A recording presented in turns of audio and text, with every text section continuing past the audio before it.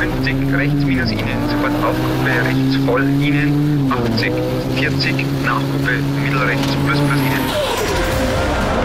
Hier ist alte Schule, die goldene Ära des Automobils.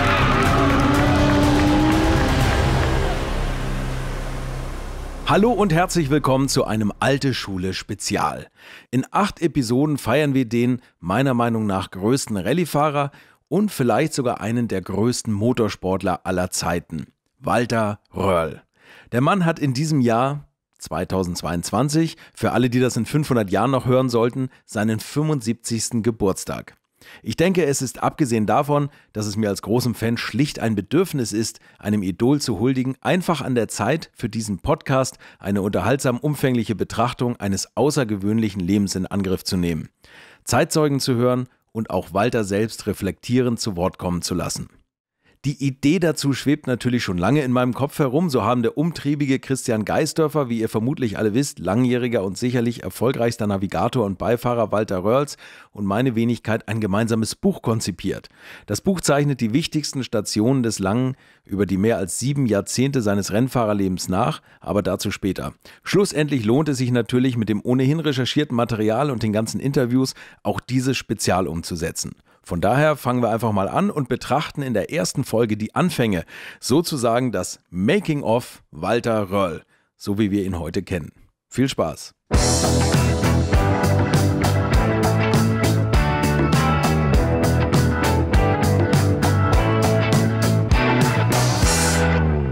Ja, also mein Weg zum Profi war sicherlich äh, ganz ungewöhnlich, muss ich sagen. Ich habe selber ja nie den Traum gehabt, irgendwas mit Motorsport zu machen. Oha, da wäre in der Motorsportwelt fast ein riesiges Talent durch die Lappen gegangen und das nicht nur einmal. Weshalb, auch das werden wir rausfinden. Aber beginnen wir, so wie in jedem Rennen, in der Startaufstellung.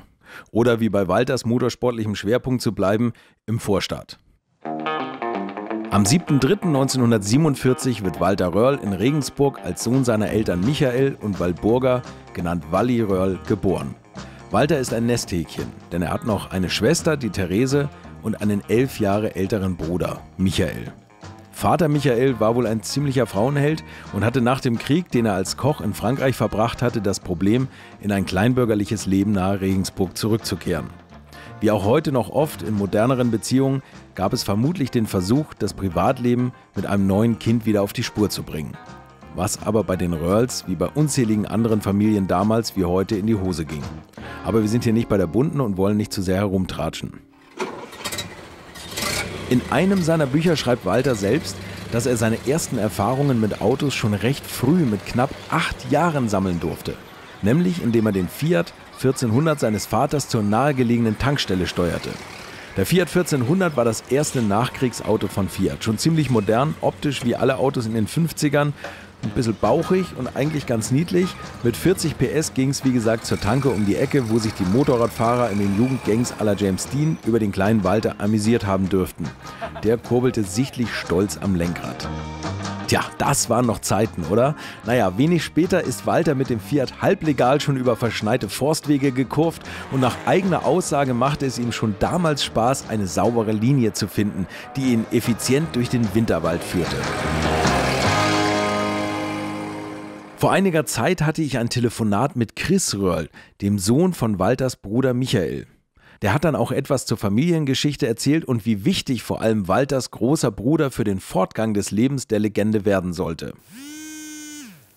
Das heißt, mein Vater war halt immer so der ältere Bruder von Walter, der ihn dann öfter mitgenommen hat, auch zum, zum Skifahren oder dann haben sie die Autobegeisterung damals schon gehabt. Der alte Röhrl, eins der wenigen Sachen, die er mit seinen Buben gemacht hat, dass, weil am Nürburgring gefahren sind, und mein Vater hat dann schon das Fotografieren angefangen und hat dann in die 50er Jahren viele Fotos gemacht am Nürburgring von Autos, von Rennautos und hat die dann selber in der Dunkelkammer alle selber entwickelt, habe ich nur etliche Fotos, teilweise dann auch so Pappunterlage aufgezogen. Und ich vermute mal, dass so ein bisschen die Autoleidenschaft daher ein bisschen über die Familie dann weiter, weitergeleitet worden ist.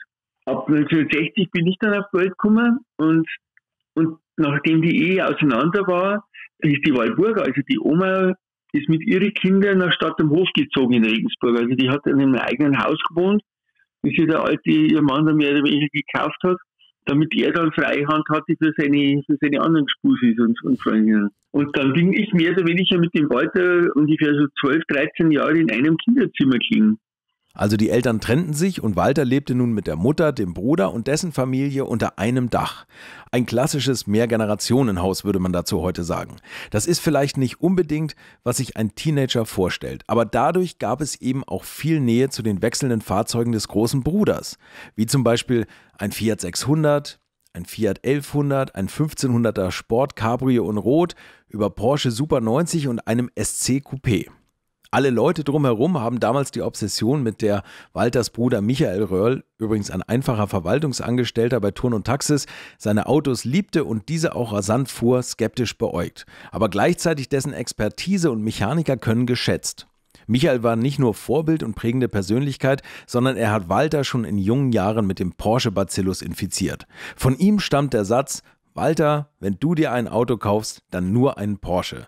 Was Walter später jede sauer verdiente Mark zur Seite legen ließ, bis es endlich Jahre später für den ersten eigenen 356er gereicht hat. Aber in der gemeinsamen Kinderzimmerzeit wurde Walters Neffe Christian Röhrl dann zu so etwas wie der kleine Bruder von Walter.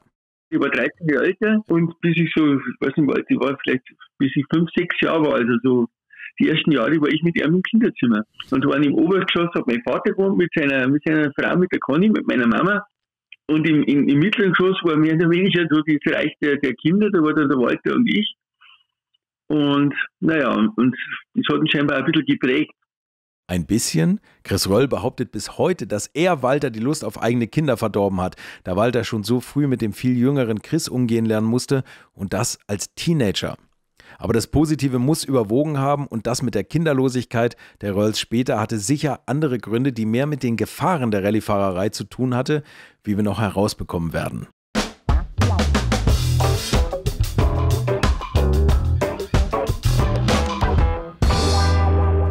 Weil die Telefonqualität übrigens so schlecht war, als ich das erste Mal mit Chris Röhrl sprach, habe ich mich entschlossen, später nochmal zu ihm persönlich zu fahren und das Gespräch erneut aufzunehmen.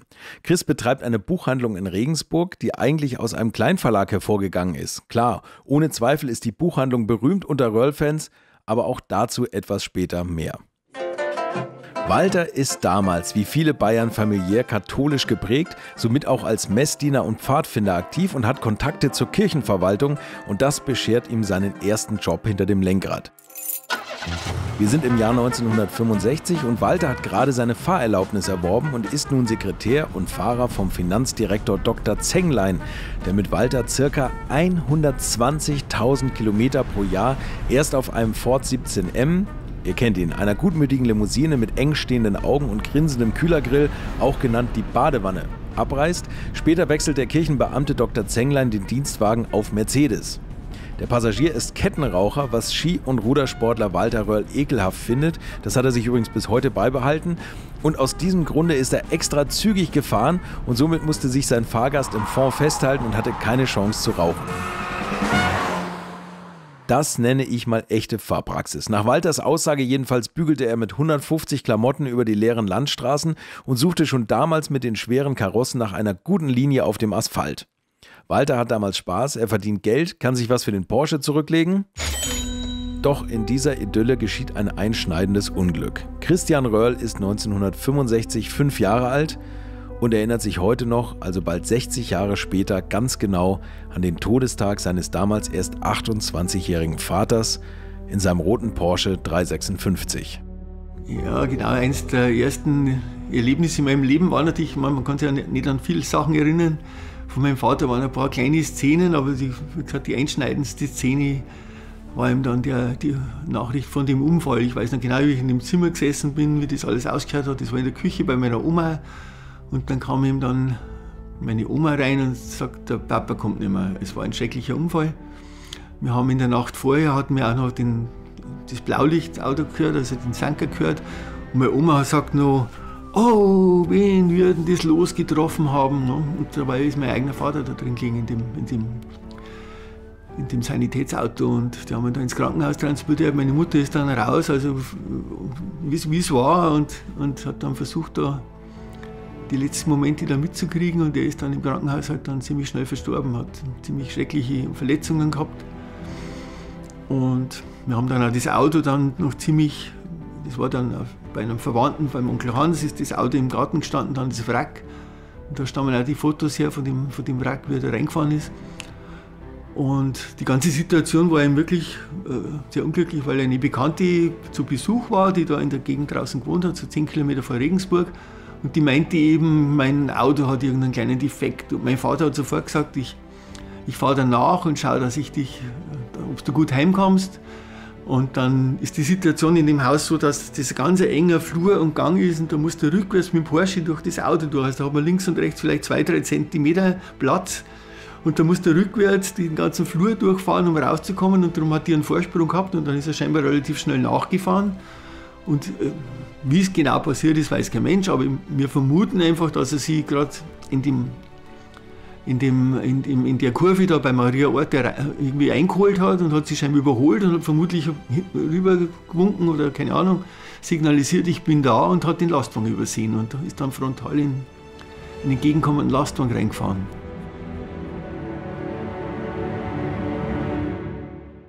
Ein Desaster für die Familie. Nach dem Unfall ist Mutter Walli zu erschüttert. Sie betrachtet Walters Beruf als Fahrer argwöhnisch. Walter wiederum will ihr keine neuen Sorgen bereiten, aber wie er selbst eingangs erwähnt hatte, ging das Interesse an Autos nicht sehr über das hinaus, was ein junger Mann damals ohnehin hatte. An Rallye dachte er da noch nicht. Also dann Sport.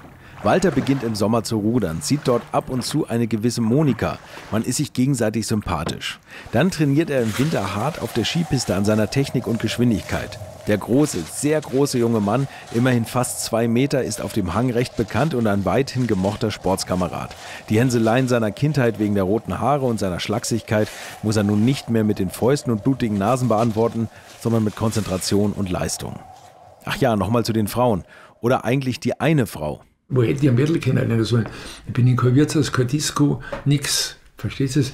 Nur Sport. Und, und, und da haben wir uns da kennengelernt und das hat sich so ergeben, dass wir da oft äh, einmal in, oder zweimal in der Woche sind wir so einen gemischten Vierer gefahren, also zwei Mädels und zwei Burschen, sind wir zum Abendessen gefahren. Und der Freund von mir hat dann die Monika eingeladen, dass mit zum Skifahren am Adelberg fahrt am 1. Mai. Und da war ich auch dabei und da hat es dann irgendwie gefunkt. Da, und von da weg dann ja, das war so. Meine Monika war meine erste und einzige Freundin, die ich gehabt habe. Mit 20 lernt Walter also seine Monika kennen und es ist sofort die Liebe, die bis heute anhält. Und sie ist auch der Grund, weshalb es keine Allüren von Sternchen und Stars zu berichten gibt. Das ist gut für den Podcast, so können wir beim reinen Autofahren bleiben.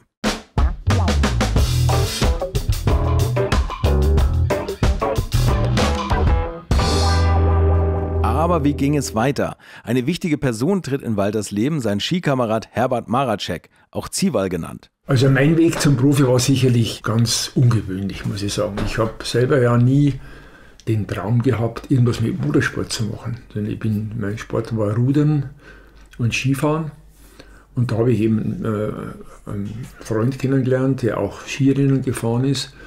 Und mit denen sind wir halt am Wochenende, wenn es Rennen war, meistens sogar hier, äh, der Skiclub war in Regensburg und die Hütte von dem Skiclub war hier in St. Engelmar. Und da gab es spezielle, einen Slalomhang und es gab eine Sprungschanze und das haben wir meistens hier, sind wir halt Rennen gefahren.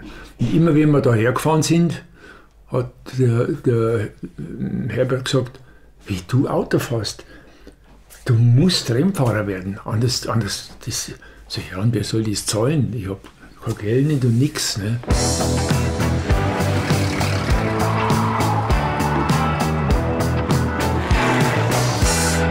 In seiner Bescheidenheit tut sich Walter schwer, die ersten Angebote zum Fahren mit Herbert anzunehmen. Und wenn, er macht es heimlich, um seine Mutter nicht zu beunruhigen. Sie weiß also nicht genau, was ihr sportbegeisterter Sohn an den Wochenenden treibt. Sie wähnt ihm natürlich beim Rudern oder auf den Brettern am Hang. Herbert Maracek ist ein echter Hans Dampf in allen Gassen, kennt Hinz und Kunz. Er ist frech und fordert andere Leute heraus, gegen Walter Berge hinauf zu brettern. Meistens geht es um die Ehre, manchmal um 10 Mark. Meistens ist Walter trotz unterlegener PS Gewinner. Aber Herbert Maracek hat viel mehr mit ihm vor. Auf jeden Fall kurzum, das hat sich über drei Jahre hingezogen und in drei Jahren sind wir fünf Rallyes gefahren.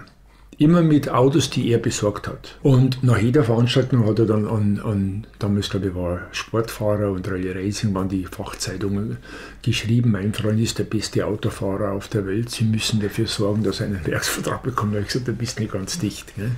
Aber kurzum, wir sind diese fünf Rallyes gefahren und die letzte Rallye war mit einem alten 911er, den hat er gekauft von Jürgen Barth, 15.000 D-Mark hat der gekostet, 120.000 Kilometer. Und da sind wir Rallye Bavaria, ich war damals ein Laufzeit mit Cup, war Munari und solche Leute am Start. Und da bin ich halt einsam vorne weggefahren, bis wir ausgefallen sind, wieder mit Halbachse abgedreht. Bei einem 911er war das ein leidiges Thema. Und die Porsche-Gene in der Familie Röhrl zeigen sich auch bei Walter. Das habe ich von meinem Bruder mitbekommen genau, gehabt. Ja. Ne? Der hat mir das schon immer als, als, als Elfjähriger, der war ja zehn Jahre älter wie ich, sagt er, merkt er eins, kauf dir erst ein Auto, wenn du ein richtiges Auto kaufen kannst. Und das ist ein Porsche. Spar dir das als Moped, Motorrad, 600er Fiat, so wie ich das gemacht habe, kauf dir gleich ein Porsche. Das hat er immer zu mir gesagt. Und das habe ich irgendwie im Kopf gehabt und habe das dann auch ziemlich konsequent durchgezogen. Mhm mit dem, ich hab, äh, als ich da das Arbeiten begonnen habe im, im Bischofenordinariat, da habe ich 365 D-Mark verdient, da habe ich 360 gespart. 5 D-Mark habe ich gesagt, du könntest aber ich habe es nicht gebraucht, weil ich bin ja, ich war nie mehr neben einem Wirtshaus oder sonst irgendwo. Es gab eins, Arbeit oder Sport. Rudern, Radfahren, Winter, Skifahren mit dem Skiclub und sonst hat mich nichts interessiert. Irgendwann habe ich dann 7000 D-Mark gehabt. dann kam der Herbert wieder ins Spiel. Der hatte inzwischen dann bei Toni Fischhauer. Toni Fischhauer war ein weltmäßig berühmter Bergrennfahrer in Deutschland, in Bad Tölz gearbeitet. Und der sagte, du, wir haben jetzt ein Auto, da ein 356er, äh, da ist der Motor kaputt, aber sonst das Auto ist in einem Top-Zustand, das wäre ein Auto für dich. Weil ich hatte von meinem Bruder, der hatte noch einen, einen Reservemotor zu Hause, der ist zu Hause gestanden. Und ich sagte, okay, ich brauche sowieso keinen Motor, weil ich habe ja den Motor von meinem Bruder noch.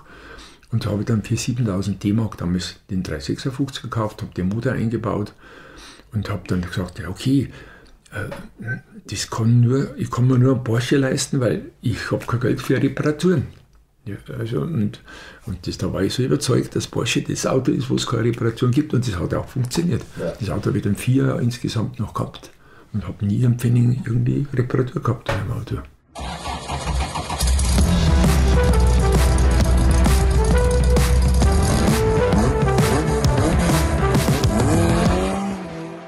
Zurück zum Rallyefahren, wo er übrigens nie mit seinen privaten Autos gefahren ist.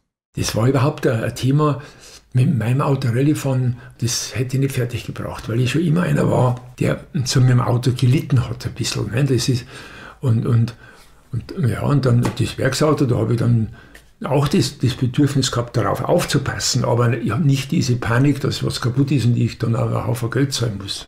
Und das wäre am Anfang der Rallye-Karriere auch nicht so gut gewesen. Walter schrieb so in einem seiner Bücher auch über die erste Rallye Bavaria, dass er keine Ahnung hatte und mit dem Fiat 850 Coupé gegen die ganzen Lancias und BMWs und Porsche eh keine Chance sah. Aber Beifahrer und nun auch quasi Manager von Walter Herbert erklärte ihm das mit den Klassen. Die beiden gaben also ihr Bestes und kamen auf einer Bergabfahrt sogar unter die Top 10, bis der Fiat den Geist aufgab. Aber Blut geleckt hatte Walter zu diesem Zeitpunkt schon und es kitzelt ihn, die starken Boliden von der Straße zu verblasen. Das hat er übrigens heute noch, dass er mit unterlegenem Material gerne leistungsstärkere Autos vor sich herscheucht. Beiden war klar, dass sie viel mehr Erfahrung sammeln mussten. Herbert fuhr dann auch als Beifahrer mit anderen Piloten, Walter ebenso auf der rechten Seite bei Peter Winterstein, den er schnell vom Lenkrad verscheuchte, weil er einfach für Walters Geschmack zu langsam fuhr. Nach und nach wurden beiden die Tücken der langen Strecken, manchmal bis zu 3000 Kilometern, bewusst. Wechselnde Fahrzeuge, wechselnde Probleme. Ohne Service war es schwer zu gewinnen. In den Zeiten dazu mal waren Material und Strecken schlichtweg nicht von der Qualität, wie es heute der Standard ist. Positiv war, das Team Maracek Röhrl wurde langsam bekannter. Man kannte die Gesichter hinter wechselnden Frontscheiben. BMW, Fiat, NSU, Ford und auch damals schon Porsche. Herbert Maracek versenkte zum Beispiel sein ganzes Erbe, 15.000 Mark, in den Aufbau eines 911S im Safari-Style. Und Herbert war zudem rührig bis penetrant, im Heute würde man sagen Socializing. Herbert trifft zum Beispiel Chefredakteur Rausch von der Rally Racing, der ihn mit zwei in die Hand gedrückten Zetteln abwimmelt. Auf einem steht Client Racing Hamburg. Herbert ist zunächst sauer, aber einige Zeit später schreibt er doch an Client. Warum auch nicht? Versuchen kann man es ja mal. Nur leider bekommt in dieser Zeit auch die Mutter von Walter, die Walburger, Wind von der Fahrerei. Das ist gar nicht gut. Streit und Sorge um den Sohn ist ab nun an der Tagesordnung. Und was sagt überhaupt Freundin Monika dazu, dass Walter nun nicht mehr hauptsächlich auf Skiern steht oder im Team rudert? Sie war nicht begeistert, aber sie hat damals schon gesagt, sagt sie, du, du musst machen, dass, dass du zufrieden und glücklich bist. Das ist wichtig. Ne? Das ist dann auch später. Gesagt, du, wenn du mit Sicherheit lieber, wenn du aufhörst wie morgen, aber es nützt mir nichts, wenn du zu Hause bist und und krantig bist und, und, und hast, äh, bist unzufrieden im Leben. Ne? Und, und so gesehen hat sie mich, bevor sie mich also praktisch eingebremst hat, hat sie mich einfach unterstützt ja, und hat mir alles ferngehalten, was mich belasten würde. Ne? Walter hat also den privaten Rückhalt, zumindest von seiner Freundin, und dann passiert es. Maracek bekommt Post. Und dann tatsächlich kam ein Telegramm am 23. Dezember 1970 zu ihm, nicht zu mir, weil ich habe ja, ich ja da war vollkommen außen vor. Und mit dem kam er zu mir aus Köln. Alles klar zur Vertragsunterschrift im Januar in Köln. Gruß, Granefuß. Sag das glaubst du? Sagt er, selbstverständlich, sonst hätten sie es ja nicht geschickt. Ne? Da fahren wir hin. Und dann haben wir mich tatsächlich überreden lassen, dass ich damit hingefahren bin und äh, haben die gesagt, ja, sie würden uns einen Zwei-Jahres-Vertrag geben. Das Auto wird, die haben ja, äh, offiziell gibt es bei Ford äh, kein, kein Werksteam, sondern es macht die Firma Kleint in Hamburg. Und äh, die haben sowieso schon einen Starfahrer, den Jochi Kleint. Genau, die hatten doch schon alles. Was trieb sie also an, Walter noch ins Boot zu holen? Ich hatte das große Glück, Mike Kranefuß zu sprechen. Der Mann ist knapp zehn Jahre älter als Walter und ein Urgestein der Renngeschichte. Heute ist er nach mehr als 40 Jahren in den Staaten mehr Amerikaner als Deutscher, aber er erinnert sich noch gut, wie das damals war, als er noch bei Ford als Rennleiter tätig war. Da war eine Company Policy, die besagt, dass England den Rallye-Sport hauptsächlich betreibt und natürlich Leute unterstützt, die auch Rennen fuhren in England. Und dass wir Rennen machen und uns mehr oder weniger zurückhalten oder raushalten aus Rallyes. Aber Ernie hat mir gesagt, als wir so sprachen und er den, den Walter verkaufte, dass ich sowas an Talent noch nicht gesehen habe und dann habe ich natürlich hingehört und, und dann haben wir also uns irgendwie geeinigt, dass wir ihm Autos geben und einen Vertrag machen und Ernie ihn dann managt und rennt und alles. Das war's. Das war die ganze Geschichte. Herbert und Walter flippten innerlich aus. Für diese beiden Dorfrookies ist das die große Chance. Da Ford nicht offiziell ein Team unterstützen konnte, zumindest nicht in Deutschland, wurden private Rallye-Teams hinzugezogen, wie eben Ernie und sein Bruder Jochi Kleint, die mit Rennbegeisterung und so manchem Kniff dann doch ihre Ford auf die Piste bringen. Und da äh, wir ein Gruppe 1 Auto dazu, weil das ist nicht so viel Aufwand, der Service steht sowieso. Da haben wir gesagt, ja, ist gut. Ja, also es wird alles bezahlt Auto, Trainingsauto, Übernachtung, wenn wir sind. Und also der, der nominelle Betrag ist für die zwei Jahre 500 D-Mark, also im Jahr 250 D-Mark. Ja, aber ans Geld habe ich da, gar nicht gedacht. Und gesagt, man sonst stelle vor Autofahren, wo alles zahlt wird, das ist ja, das ist ja Sex im Lotto. Das ist ja unglaublich. Ne? Und mein Kranefuß kann das nur bestätigen. Walter war auch nie sehr kommerziell interessiert. Der wollte schon, dass er nicht bezahlen musste und Geld machen und so weiter und so weiter, aber das war nicht im Vordergrund. Und das war auch, meine Ernie hat das sofort von Anfang an gesagt. Er hat gesagt, wenn der für uns fährt, dann wirst du dich nur wundern. Ne? Und er hat sie alle stehen lassen, ne? alle, wo immer er hinging. Ne?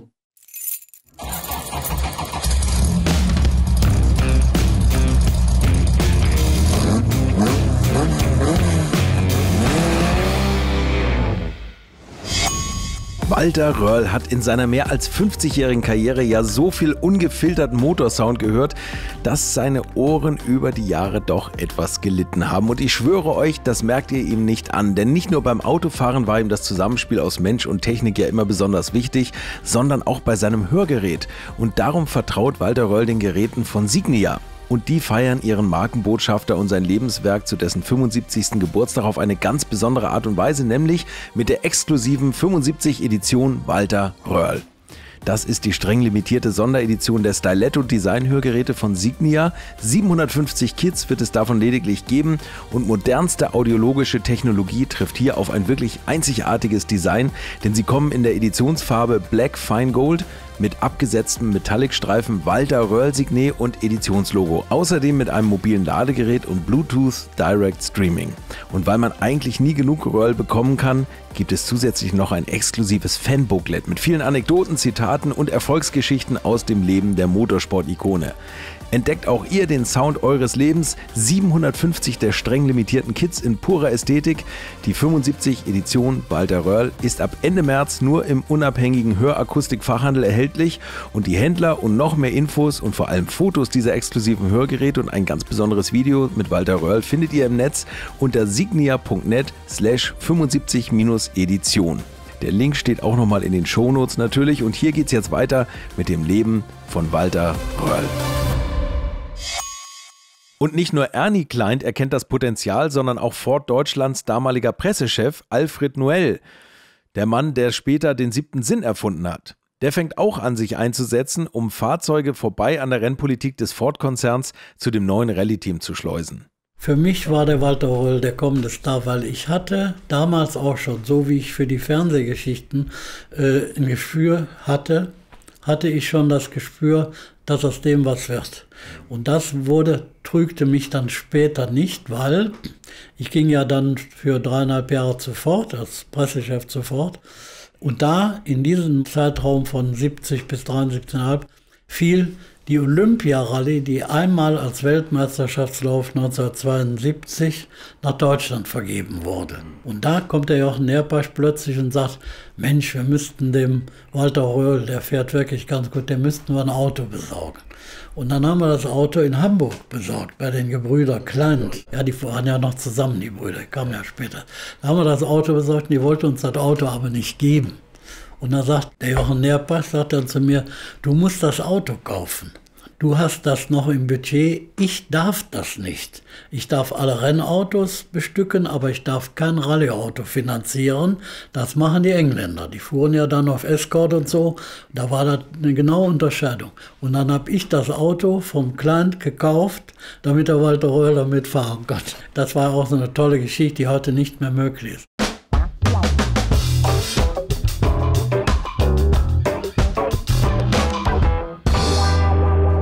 Kurzum, das äh, habe ich dann gesagt, okay, das mache ich.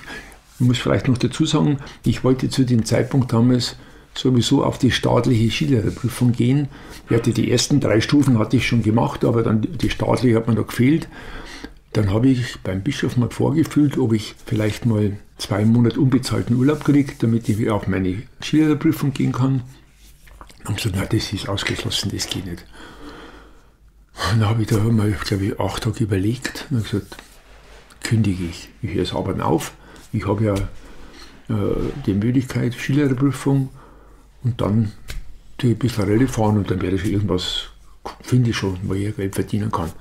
Ich habe das tatsächlich so durchgezogen, was mir natürlich zu Hause bei meiner Mutter natürlich eine Katastrophe war. Die hat gesagt, also, der Bub ist asozial. Also ganze Erziehung alles umsonst gibt es einen Beruf auf da bei der, bei der Kirche und die hat die Schülerprüfung und, und will Motorsport machen. Noch dazu mein Bruder, äh, was weiß ich, fünf Jahre vorher tödlich verunglückt ist ne, mit dem Porsche. Ich habe das aber dann so durchgezogen. Die Probleme mit seiner Mutter werden Walter übrigens später nochmal einholen, aber erst einmal geht es richtig gut voran. Auf der Piste am Hang und natürlich auf der aus Asphalt und Schotter. Es war auf der einen Seite die Schülerprüfung sehr erfolgreich. Ich habe die vierbeste Prüfung gemacht in Deutschland da 1971. Und das Rallyefahren ging auch ganz gut. Die erste Rallye war ja die Winterrallye in Machtredwitz und mit Gruppe 1 und äh, da haben wir schon äh, so Ausrufezeichen gesetzt, wo alle gesagt haben, das gibt es nicht. Da war eine Prüfung dabei, die wurde am Tag vor der Rallye erst geräumt. 30 Kilometer irgendwann Fichtelgebirge, konnte keiner trainieren. Und da sind wir durchgefahren mit dem Cabrio. Am Ziel sagt der Herbert Mareczek, kein Mensch auf der Welt kann hier schneller fahren wie du. Also Spinner ist nichts weitergegangen. Da dreht er immer nur durch die Kiste. Ne? Und so, was weiß ich, wie viele Sekunden Vorsprung wir Bestzeit gefahren sind. Einfach alle Porsches, Werksautos, BMW, wie es alle geheißen haben. Und, und da war, war schon das erste Mal, dass ich so äh, mal gesagt habe, Herbert, warum fahren die alle so langsam? Aber nicht, weil ich glaubte, dass ich schnell fahre zu dem Zeitpunkt. Ne?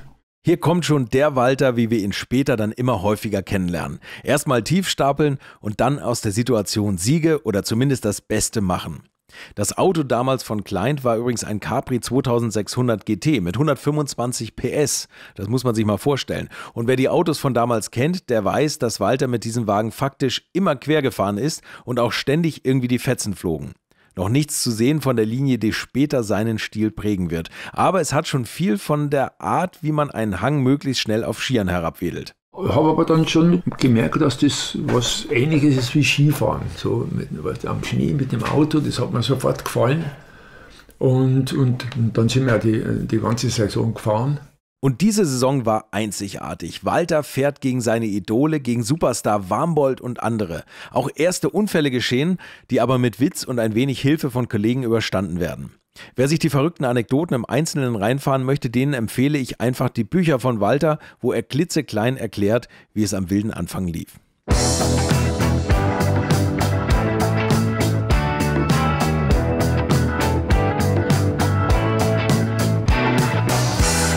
Jedenfalls bringt es das Team schon schnell auf vordere Plätze, selbst in ihrem zum Vergleich eher mäßigen Standard Capri.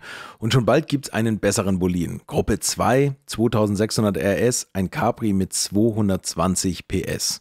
Und siehe da, schon gewinnen die Newcomer die Europameisterschaft bei der Wiesbaden Rallye und sind nun Lizenzfahrer und ernstzunehmende Kontrahenten für die großen Namen der Zeit. Also Danish, Mikola, Ove Eriksen, Rauno Alton, dessen Wege sich immer wieder mit Walter gekreuzt haben, wozu wir später noch mehr hören. Und aus Deutschland natürlich auch immer noch Achim Warmbold und nicht zu vergessen Jochi Kleint, das große Talent der damaligen Zeit. Und nicht nur Walter entwickelt sich zum Profi, auch seine Frau Monika beginnt ein neues Berufsleben und übernimmt Verantwortung für ein ganzes Unternehmen. Da war kein Sohn in der Familie, hat der Vater gesagt, die Monika muss das Geschäft einmal übernehmen. Und damit war sie natürlich erstmal engagiert und die Zeit dann, wo ich so viel fort war, auch eben äh, beschäftigt mit dem Geschäft und nicht, nicht sich langweilig äh, gefühlt hat daheim. Und, äh, das, das war alles äh, günstige Voraussetzungen. Allerdings äh, eben mit, mit der Einschränkung, dass halt meine Mutter einen riesen Tamtam immer gemacht hat. Jedes Mal, wenn ich weggefahren bin hat sie natürlich eine Szene abgespielt, dass ich bestimmt, dass man nicht mehr sieht, dass jetzt was passiert. Und das habe ich so am Ende des Jahres bewogen gehabt, dass ich gesagt habe, ja, es hat keinen Sinn nicht, ich kann nicht, das, das, das geht nicht. Immer diese, alle, alle vier Wochen, wenn ich zur Rallye fahre, ist eine Szene zu Hause, das ist ein Wahnsinn. Und habe dann gesagt, nein, ich, den, ich kann nicht den Zweijahresvertrag erfüllen. Habe dann den Granifuß angerufen, habe ihm das erzählt. Er sagt, das ist ja immer schade, wie kann Sie nicht zwingen? Sagt er, wenn Sie sagen, das geht nicht, dann geht es nicht. Das ist kein Problem. Nicht? Das war also Anfang November, ich glaube die letzte Rallye war Hugenottenrallye und sowas. Und dann habe ich eben diesen Winter durchlebt, ohne, ohne den Motorsport. Walter braucht Geld und sucht sich einen Job. Auch Herbert Maracek. Nun ein arbeitsloser Beifahrer ohne Cockpit landet in einem großen Reifenvertrieb und während Herbert zumindest bei Autos bleibt, macht Walter was ganz anderes. Jeder Mensch muss jeden Tag arbeiten. Und in dem Rallye Club in Regensburg, RIOC, Rallye Interessengemeinschaft Ortsclub Regensburg war das. Der, der Vorstand hatte ein großes Heizungsgeschäft. Und dann habe ich bei dem gefragt, ob er nicht einen, einen, Job hat für mich unter der Woche. Ich sagte, ich sagt, ich brauche jemanden fürs Lager und der, der, äh, wenn die Mechaniker anrufen auf der Baustelle und die brauchen noch irgendein Teil, das Teil dorthin fährt. Dann habe ich bei dem, habe ich bei dem, in, wenn ich nicht Rallye gefahren bin, habe ich bei dem gearbeitet.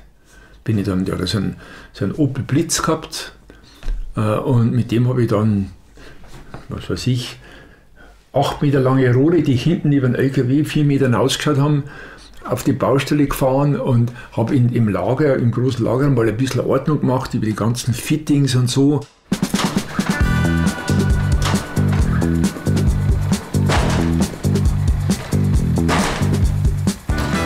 Oder noch was anderes, der Pragmatiker Walter Röhrl, wie er leibt und lebt.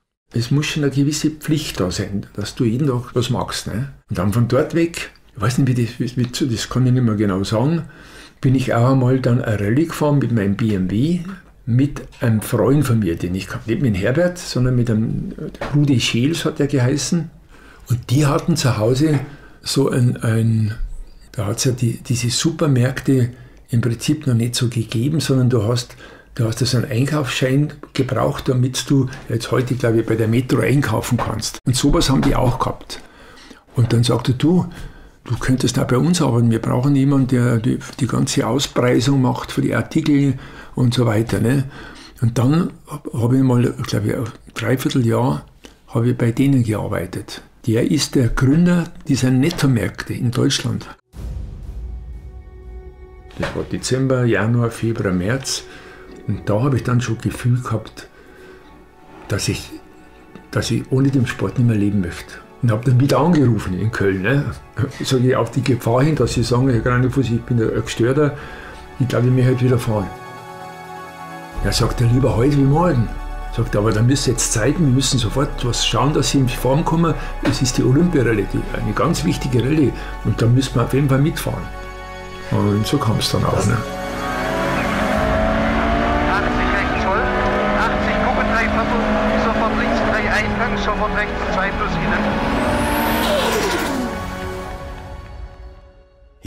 Die Olympia Rallye 1972, die sich dieses Jahr zum 50. Mal jährt. Walter kehrt nach dem Winter ohne Rallye zurück. Genau richtiges Timing. Er bekommt den harschen, aber extrem professionellen Jochen Berger an seine Seite und beide beginnen erst einmal in Osteuropa mit den Vorbereitungen auf Größeres. Bei kleineren Wettkämpfen wie zum Beispiel der polnischen Reit. Gewinner vor Röll und Berger wird Raffaele Pinto auf Fiat, der Walters beeindruckendes Fahren in dichter Wolkensuppe mit den Worten kommentiert, du bist ein wunderbarer Nebelfahrer. Und das wird einige Jahre später in Portugal noch richtig wichtig werden. Davon abgesehen gewinnt Röll bei der Reit 19 von 23 Wertungen und der Fiat-Chef gratuliert höchstpersönlich. Ein gutes Omen. Und trotzdem ist Walter noch etwas unbehaglich, wieder bei Client Racing zu sein. Das war für mich eine ganz blöde Situation. Der Jochi war klar die Nummer 1 bei Ford. Sein Bruder war zugleich der Teamchef. Und die Kölner drücken diesem Team, also einem Bauernbub aus Bayern, aufs Auge. Und dann ergibt sich nach drei Rallyes, dass die Kölner sagen, also wechseln. Der Bauernbub kriegt das starke Auto und der Jockey zurück. Das, da musst du mal, was das für die Kleins war. Normalerweise musst du erwarten, dass die mich austricksen.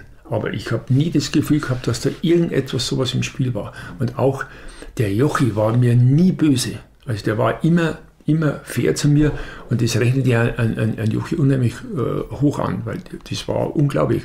Die ziemlich gleichaltrigen Jochi Klein und Walter Röhrl sollen sich in ihren späteren Karrieren noch öfters begegnen, aber dazu in anderen Folgen dieses Podcasts mehr. Was macht die Olympia-Rallye 1972 eigentlich so wichtig für Walter? Ich meine, gewonnen hat er sie ja nicht und trotzdem ist es Durchbruch und der Start der Profikarriere gleichzeitig. Also bis dahin habe ich immer noch gezweifelt, was ich will oder was ich kann.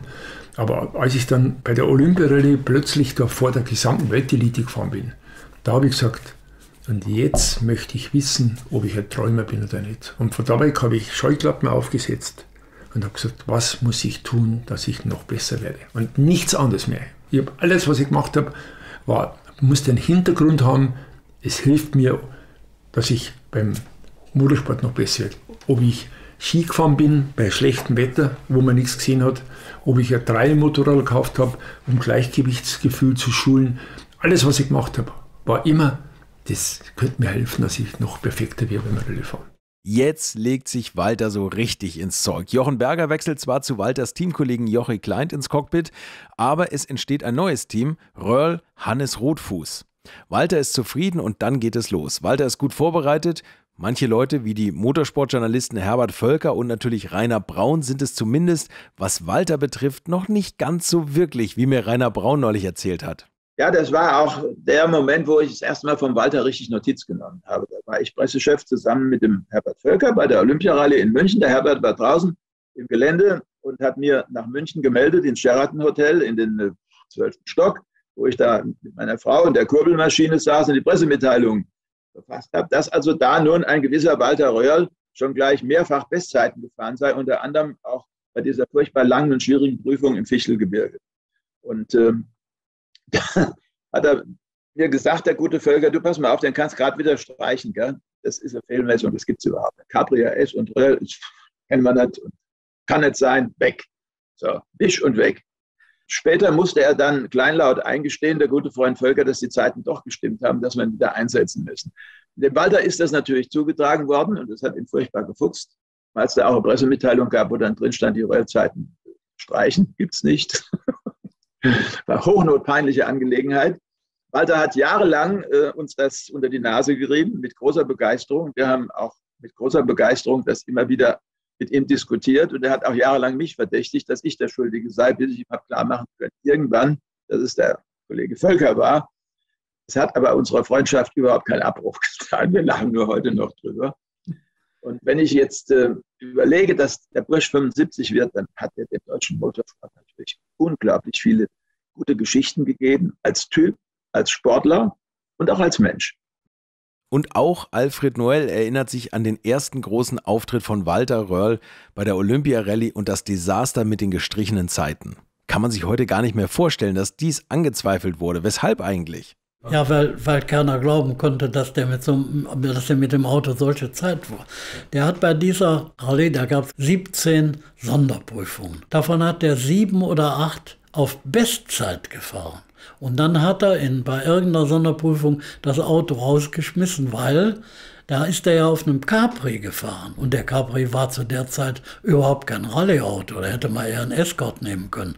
Aber der, da ist er mit dem Capri diese Zeit. Und dann kommen die, die hochdotierten Jungs da aus aller Welt, kommen da an und sehen die Zeiten da und haben gesagt, das kann nicht stimmen. Der kann mit dem Capri gar nicht so schnell fahren. Aber, hat er aber. Es war wirklich wahr. Es war belegbar äh, und und und. War toll. Dann habe ich dann ein paar Leute aus dem Motorsport, die ich kannte, die da die Zeitnahme machten. Mit denen habe ich dann darüber gesprochen. Ich sage, Jungs, ihr müsst euch wehren, ihr, müsst, ihr könnt doch nicht einfach auf euch sitzen lassen, ihr hättet die Stoppuhr falsch gedrückt oder sowas. Und dann haben die gesagt, nein, die Zeiten sind richtig und wir bleiben dabei. So, so ist das dann so ausgegangen überhaupt. Ne? Aber das war richtig Krawall.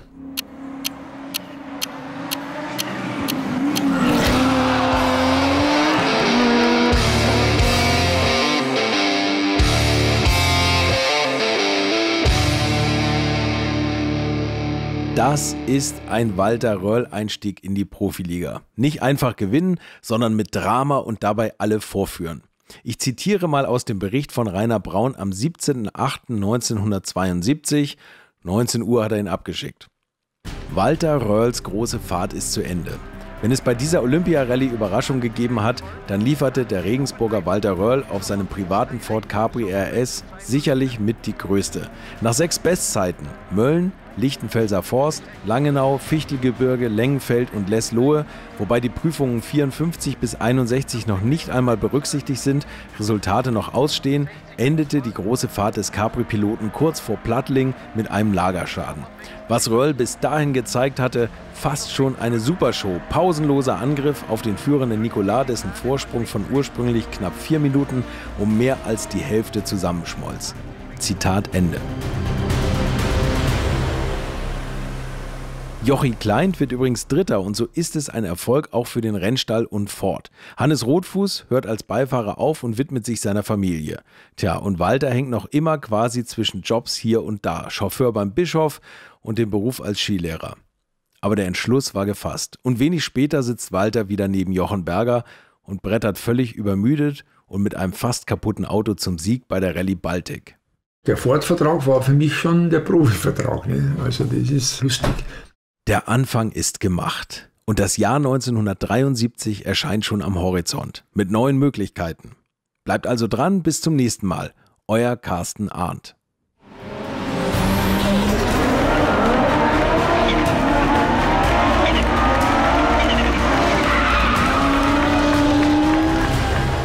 Walter Röhrl, 75 Jahre einer Legende, nach einer Idee von Carsten Arndt, Buch Lutz Neumann und Carsten Arndt, Sounddesign Philipp Klauer, Redaktion Carsten Weichelt, unter der Leitung von Ruben Schulze-Fröhlich und Sven Rühlicke und das Ganze ist eine Koproduktion von Alte Schule und den Wake Word Studios.